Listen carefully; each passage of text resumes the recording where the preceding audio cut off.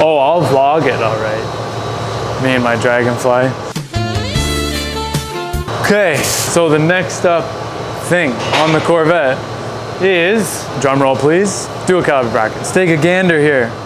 We have got a dual caliper bracket. That's what you're looking at now. It's gonna be paired up with a nice toe gain bracket, kind of for two reasons. So the tire, the tire, uh, no, the toe arm isn't able to mount back in the factory hole because it would hit this caliper. It's not a design flaw, there's just nowhere else on the knuckle to put this caliper. The new toe arm will mount here on this bracket. And we're gonna have a very small bolt go through here, and then the bearing and everything's gonna sandwich it all together. So you can run it in the factory position, zero toe gain, just like you're having on a daily car. Or you can go for like monstrous amounts of toe gain here. It's all adjustable and it's uh, gonna be very user friendly because when it's on the car, you're gonna be able to see it, but I'll show you what I mean on the knuckle. So I have a spare knuckle here. Yep, it's gonna go on just like so, okay? So you see the holes are all lined up and everything looks real good. Everything's real tight. But this is what I mean by the proximity here. So we're gonna bolt it there with a small bolt and then the new toe arm will fasten in here. Bearing goes through like nothing ever happened except you got a nice brand new four pot on her, right? Big John. We're just gonna take everything apart, throw the bracket on, put everything back together. Then, uh, you know, you guys know I already have the handbrake installed in the nice fancy spot. So all we gotta do is put some fluid in it, connect the lines. Then we have a dual caliper, four piston, Wilwood hydraulic handbrake on our C6 Corvette, which is everybody's dream. The only thing is you're gonna need to be running Z06 rotors, which look like this. They're big, they're bulky, they got lots of stopping power, and they're huge diameter. So you won't be able to run this kit with Z, Z51 or base model cap, cap rotors. You won't be able to run this kit with base model rotors like Z50 or Z51 or base model. Can't do it.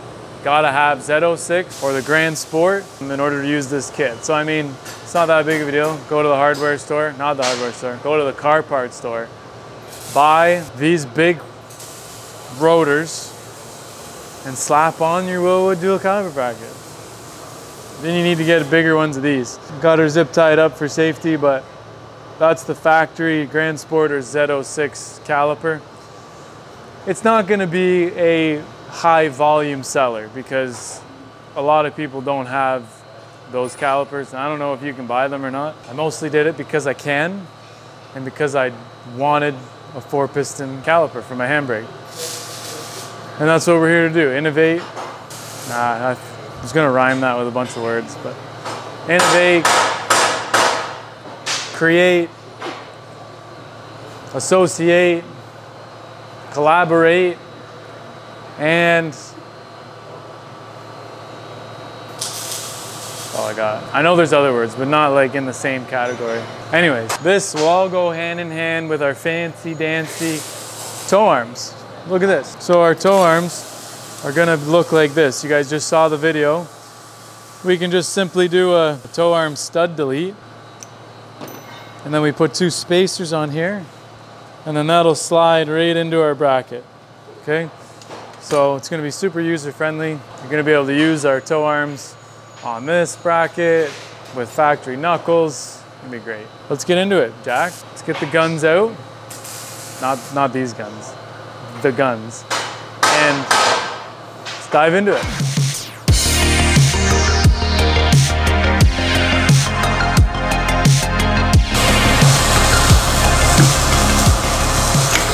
Oh, it wasn't very tight.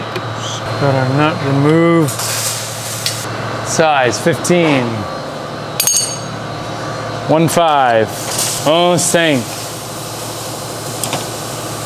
Un, deux, trois, quatre, cinq. No. Oh, cat. Right?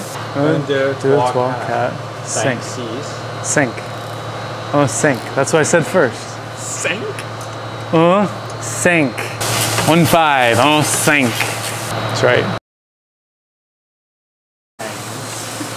Candy canes. Ooh, big spring in the way. Nice. Should probably keep the parking brake because I do park with it. We'll see how it goes though. Might just put a ratchet strap around my handbrake handle. Oh, it's bigger. Okay, okay. 45. I'm messing around. Oh. Duh.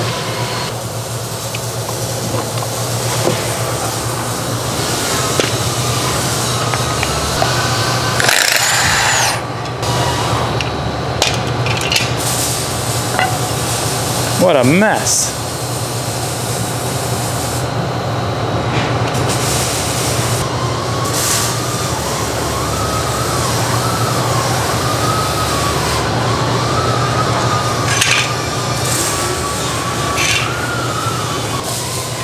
Oh, got a grinder. Got to flatten this a little bit. See that casting line? Just slightly touches it there. We got to grind it a little bit. Not a big deal.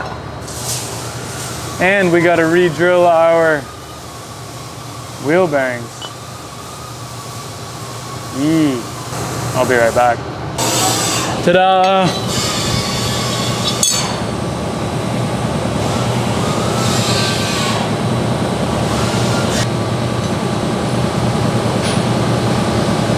This spline is smaller though. We're gonna have to drill these bearings because this one has a baby spline in it, which can be used on the front. It's not that big of a deal. This one's definitely got a bigger spline, definitely. Not to worry. So this could be used on the front, but we're gonna have to re-drill these for the back. No problem. We'll do her up. What I made this for.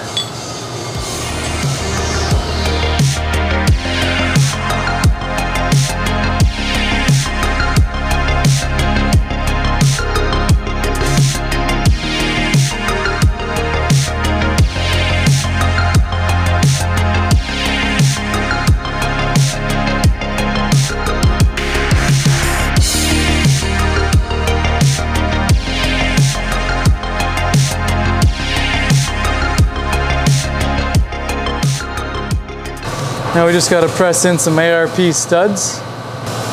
After this video, I think we're to do a big old cleanup. What do you think? We're getting a new mill too, so if you thought I was rough on her, it's because I was. So every Friday, Snap-on comes, all the guys go on the truck, they give us good deals, get us good stuff. It's Father's Day weekend, so we've got, uh, gave me this car. It's good for I have two kids, if you guys don't know. Maybe you'll see him one day, but give something for the young lad to play with. Um, he's setting us up with another jack for the shop because uh, I need one to take to the track. I need one that goes low and lifts high and does it quickly. So thanks Ryan, thanks Snap-on.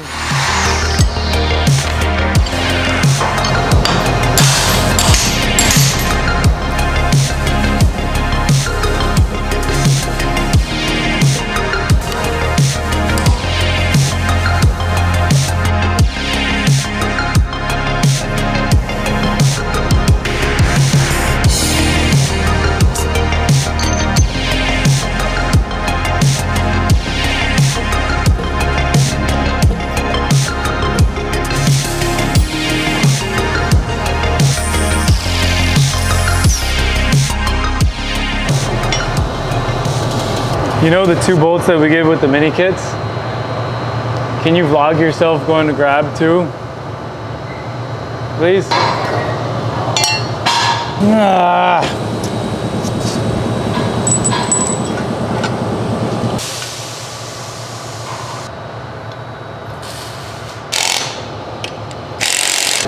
Yep. Yep. Yep. That is not going anywhere. Not going anywhere. Not going anywhere. Okay.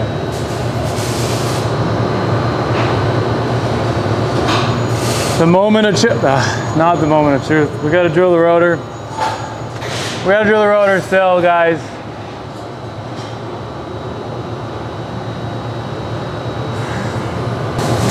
Pull, pull, pull, pull, pull. Hole, hole, hole, hole, hole. Right? I'm gonna look awfully upset in this video. Because I am, folks.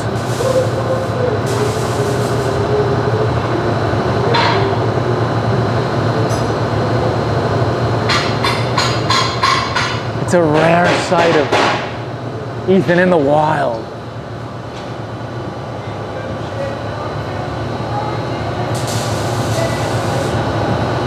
That was hard to look at, but I did it for you guys. Anyways, pop a couple holes, sing a couple songs. Can you vlog yourself going to get two, maybe three M12 125 25 mil long with nuts?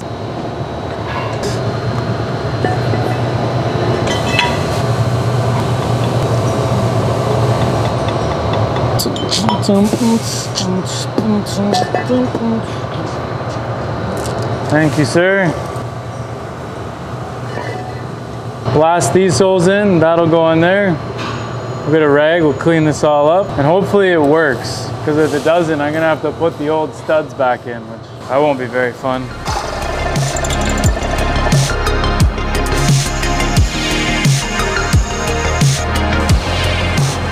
All right, Jack, we need a rag.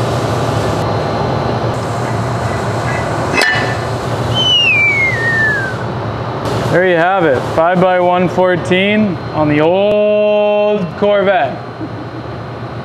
5x114 bearing conversion's done. The dual caliper bracket is installed. The bad news, that wheel isn't gonna fit anymore. I'm gonna miss them. Do we have other wheels here? Not that I know of. Where those Kensai trailer? Not good. This has been tough. This has been real tough. So the moment of truth is, what's the spacing looking like? Oh. I think it's perfect. It's hard to tell exactly. Let's get this big thing off. the heaviest thing by far. Throw this back on.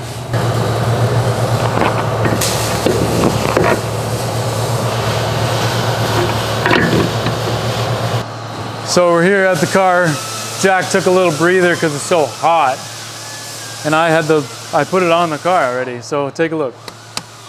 We've got our dual caliper bracket, sandwich between the bearing, threaded holes for the Wilwood calipers, and our big old toe arm bracketry here. So the way this is gonna work is the lower you mount it, the more toe in under compression you're gonna get. Do you want a bunch of toe in under compression? Maybe not. Put it in the top hole. Do you want a bunch of toe in under compression? Maybe you do. Put it in the bottom hole. Somewhere in between, lots of options, all right?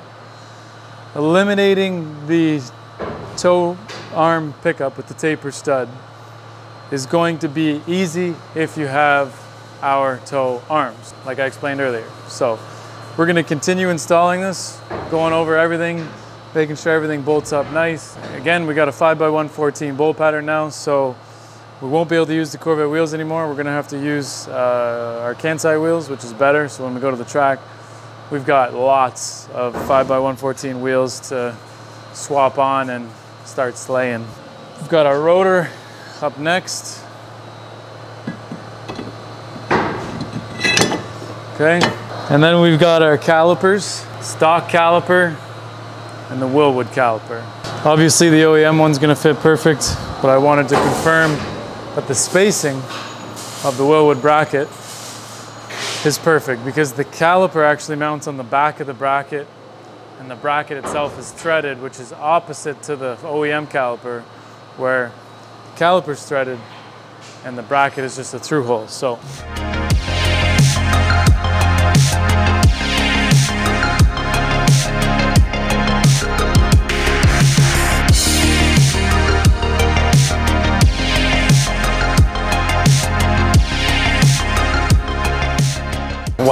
Is all I can say. This is quite the setup when you look at it.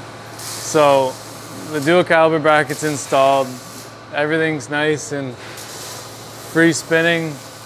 You can just get a little bit of a clink out of each pad so you know that the caliper's perfectly centered. It, it was, it was fun. There's a couple things that we got to uh, tidy up on the bracket, which I mean is basically I just need to make the holes bigger, uh, essentially. The hole for the bearing and then the three holes that the bearing bolts go through. Everything was just a bit too tight, which has to really do more with the machine that cut it than it does uh, the actual drawing itself. Because the drawing I always oversize, but with the water jet, sometimes you have a curve, sometimes you have whatever. So everything was just a bit tight. So I opened everything up.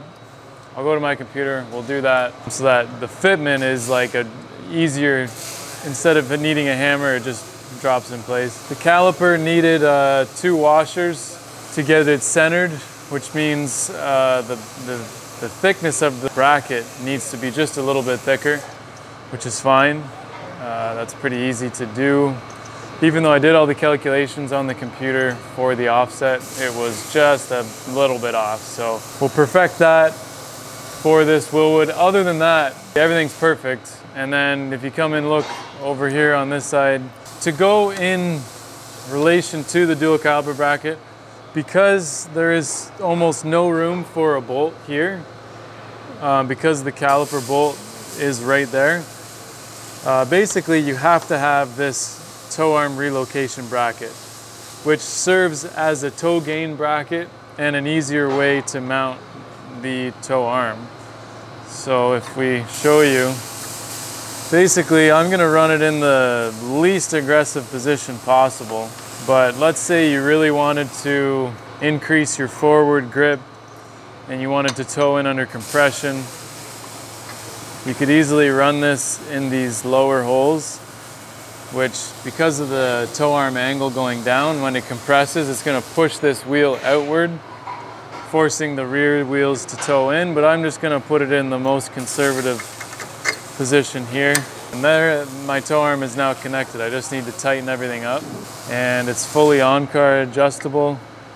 So I can increase or decrease my toe just with this. It's got the shackle mount at the subframe side. So that's pretty much it for everything that we've installed here. The only thing we have to do is run the lines and connect it to our handbrake that's installed on the, basically beside the transmission tunnel, mounts to the center console. And then all these products are gonna be just tuned up with all the little details that we added. And then we're gonna be able to run with selling this stuff. So another note on this, I re-drilled the factory bearings and the rotors. So this is now a 5x114 bull pattern with ARP studs. I bought these uh, open-ended key lugs. The key lugs are nice just because if you have aftermarket wheels, sometimes the holes are super small. So you need like these lower profile ones. They're cheap, they're like 25 bucks a set. They're nice. Um, they're not aluminum, they're uh, hardened steel, so I like that too. Yeah, I mean, just take a nice little pan of it. It looks sick with the Wilwood 4 pot on the top. This is run and it needs to be run with the Z06 rear rotor because the rear rotor's diameter is what allowed us to mount this caliper on the knuckle. And let me tell you, it's super close to the knuckle. Like the caliper is almost touching the knuckle on both points. And uh, on some cases, because the casting changes, you may even need to grind a little bit off either the caliper or the knuckle. And when I, I mean like barely anything, but you may need to do it, which when you're doing an install like this and you're drilling rotors and you're drilling bearings and you're putting calipers on, that's like the least of your worries. It's gonna take you like 30 seconds for something like that. And if you can't do something like that, then I wouldn't suggest trying to install this toe gain bracket with the, with the dual caliper Wilwood four piston. But if you do, you're gonna be super happy because I have the same calipers on my Pro car and let me tell you, doesn't take three fingers, doesn't even take two fingers, it takes one. Hook and pull, baby. Hook and pull, baby. That's not a saying. But it locks really, really easily. Um, and I, I do like a nice effortless handbrake. It, it, it really just builds confidence and whenever you want to tug on it or use it, it's instant, it's there. You don't need to wreck anything, rip your transmission tunnel off trying to lock the rears. It's just like 20 pounds of pressure and she's locked up, which is perfect. So all in all, I think Jack got enough footage. It, it, just took a while to doing all these little things, so I'm not sure if he picked up all of it, but you guys will see in the video. It's pretty sweet. So what's up next? Mini kit on the front. Um, and then we're gonna take this to the track after plumbing the hydro and installing the mini kit and doing the 5x114 conversion on all four corners.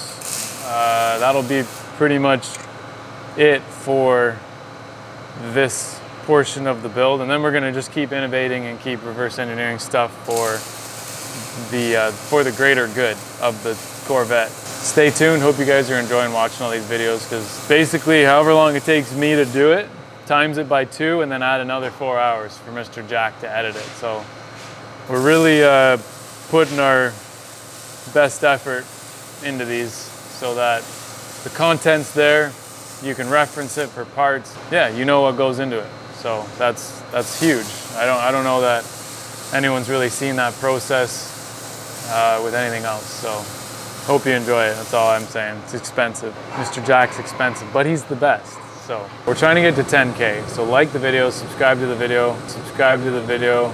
We will cook up a 10K giveaway we'll probably hit it really quickly and but we want to make it like a really good giveaway like either a free angle kit or like a thousand dollar credit to our website something like that. All things considered we started in like february or march posting quite a bit so uh, clearly somebody's enjoying it.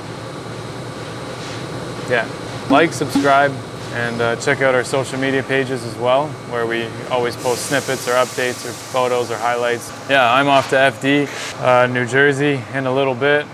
Um, so we're gonna try and do a lot better with documenting that as well.